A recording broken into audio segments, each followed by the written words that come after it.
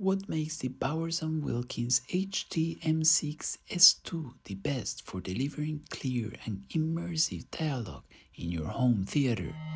This center channel speaker has three unique features that set it apart from the rest of speakers on the market. First off, it has a decoupled double dome tweeter that reduces distortion and isolates the sound from cabinet vibrations. This means you can enjoy crisp and detailed highs without any interference. Second, it has two continuum woofers that use technology from the high-end 800 series of the company. These woofers produce smooth and realistic mid-range and bass, making the dialogue and music sound natural and engaging. Third, it has an optimized crossover design that includes upgraded capacitors for better performance.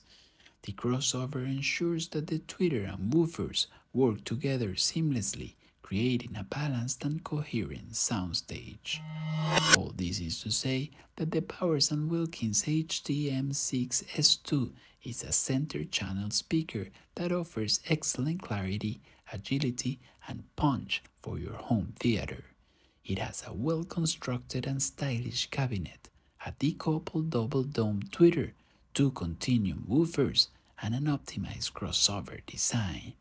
These features make it a superior speaker that can handle any movie or music genre with ease.